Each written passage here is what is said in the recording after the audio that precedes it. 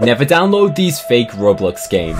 On the App Store, there are so many fake Roblox games, and they try to scam you, or even track your location. So, I'll test them for you. Roblox mod skins master early access. Pro skins? Oh my what? what is this? what am I looking at? Now it takes me to free items game. What is this? This is an actual Roblox. If I click play, it tries to charge me 25 pound? Click here to watch the full video.